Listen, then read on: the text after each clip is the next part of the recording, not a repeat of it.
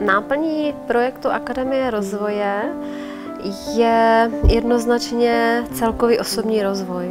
Cílem je, aby člověk, který k nám přijde, eh, se rozvíjel po všech stránkách. Ať už se jedná o jazyk, ať už je to prostě jeho duše, jeho zdraví, ať už jsou to jeho finance nebo vztahy.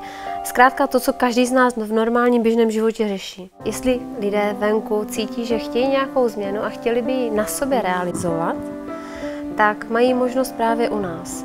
Ať už je to, jak jsem říkala, dovednosti, jakékoliv dovednosti, eh, jakýkoliv rozvoj a změna svého myšlení, jakýkoliv posun, po čem touží.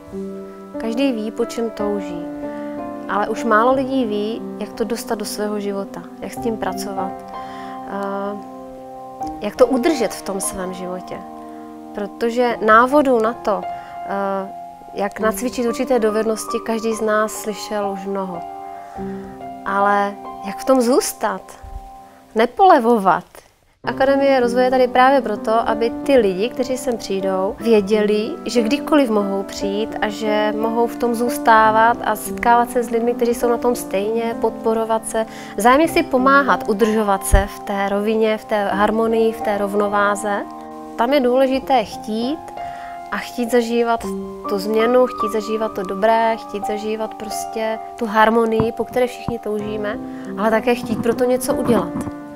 A to chtít pro to něco udělat mnohdy znamená přihlásit se na nějaký seminář. Jestliže je ta akademie tady proto, aby pomohla, aby pomohla lidem, kteří chtějí tu změnu, tak si myslím, že to bude jenom růst ty, ty, ty květinky, že tady bude více a více lidí, kteří prostě budou šťastní, budou v harmonii. Já si myslím, že nejdůležitější pro, to, pro ten projekt je, aby jsme co nejvíce lidí dostali do vnitřní harmonie, aby se naučili pracovat s tou intuicí, být se s ní učím sama pracovat, aby nakonec naslouchali sami sobě a eh, ono se s tím mnohem lépe žije.